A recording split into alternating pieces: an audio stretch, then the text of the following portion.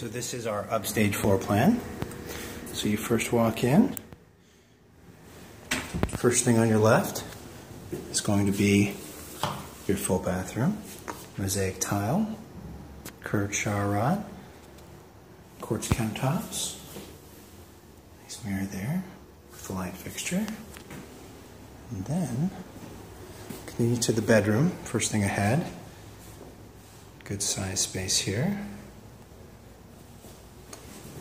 This, you have this spectacular James River view. If you look in the distance there, absolutely gorgeous. And in your bedroom, you've got water heater and washer and dryer. You've got a good sized closet. This is called our upstage floor plan. Very good sized closet.